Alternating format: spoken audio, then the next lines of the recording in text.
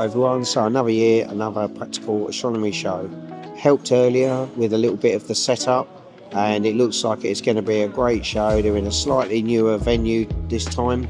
Looks like there's lots of lovely gear to look at. So hopefully you'll join us tomorrow morning after breakfast. Simon and I will be taking a little trip down to Stoneleigh Park Lodge and uh, we'll have a look at all the lovely gear. So we'll see you there. But while we're waiting for tomorrow, it'd be rude not to. Cheers, Simon. Cheers, mate. Good health. First job of the day is to check in with all of our Astro buddies.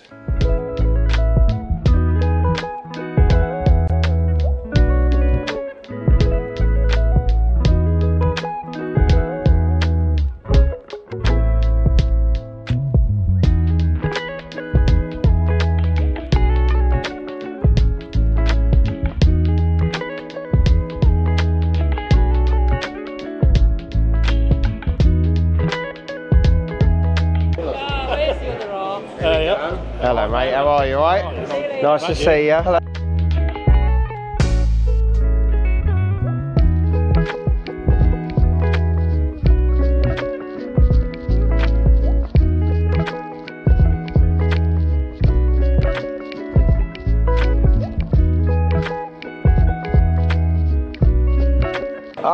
Come on. I've always had to buy mine. Have you? Is that my one then? Oh, is it? No, I bet I can get one for free. Hang on. Well, I got one for free. I've been trying to get one of yours for free. Ah, nice one, Rob. Oh, hang on. There you are. Yeah.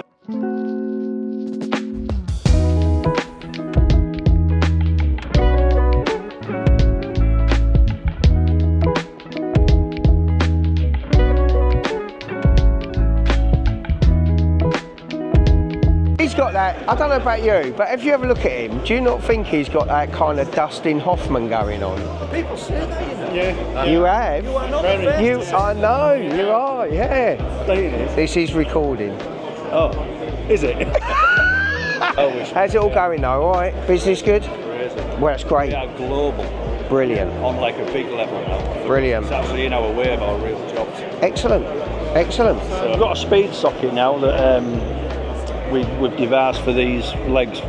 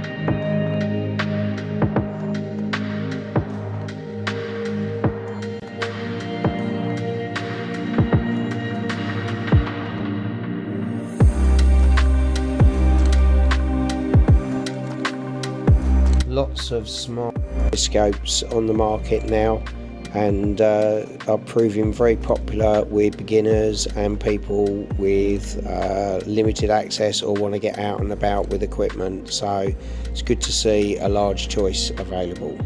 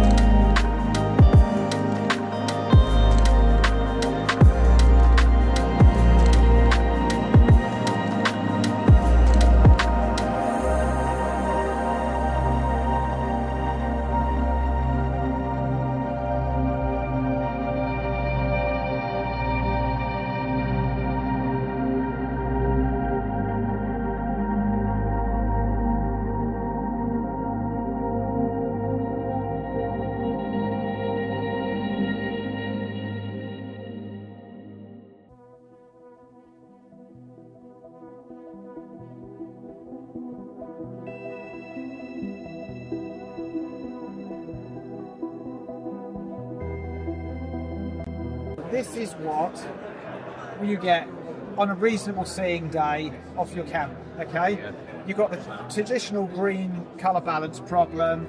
You know, you've got it jumping around a bit. It's never as sharp as you want. And all you have to do is turn on live stacking here for solar, lunar, and planetary live stacking in SharpCap. And actually, it's all been pre-set up, and you're getting an image already. But if I reset everything, what you would see when you started is it stabilised it the up. image and it stacked it. Yeah. So then we auto adjust the brightness and colour. Okay, so we're now back into a decent white balance and we give ourselves a bit of saturation to give the image some meat. And then just hit the auto sharpen button. Okay, and immediately Brilliant. we've got a Jupiter that you'd be quite pleased with, okay?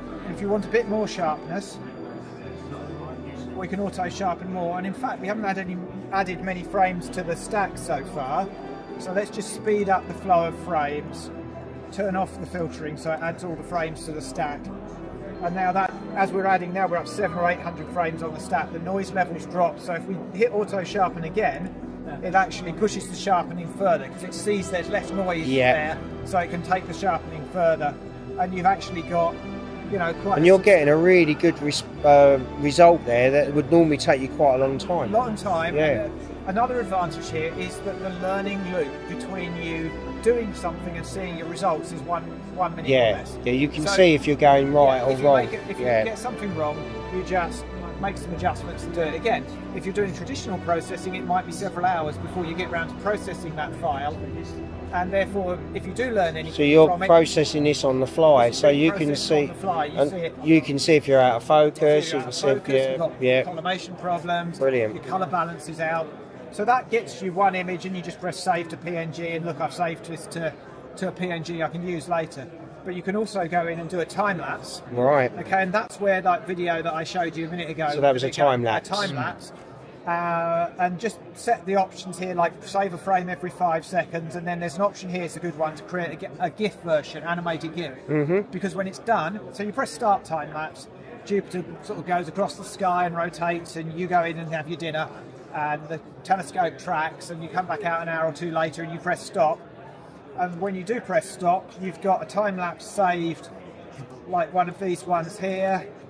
So that one's got some shad- moon It's got some moons, yeah. Yeah, and you can see the seeing come and go Yeah. as it came and went over that evening when I was capturing it. I love that when you get the shadow Yeah. going across the planet's Yeah. surface. That's cool, Yeah, isn't it? I great. like It does that. give you a real look at 3D look.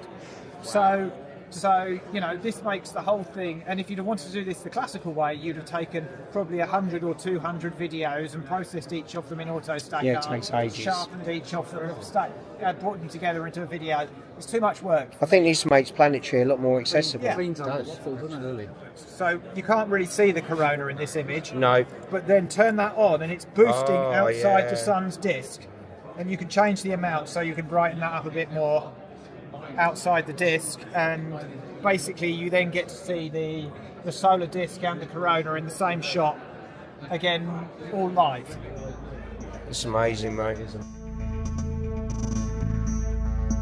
There was some really exciting new products at the show. One being an open truss telescope like a Newtonian for solar. Um, comes from Hungary from a company called SolEye.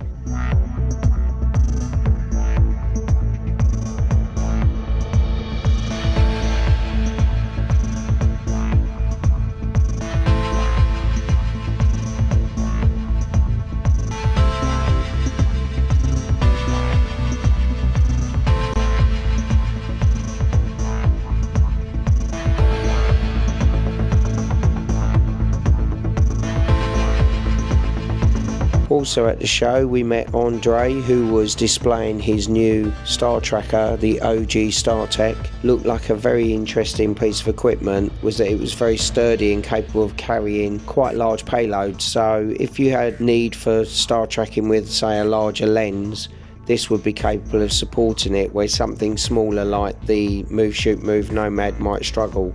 So hopefully in the future more details on this as I'll hopefully get my hands on one to test.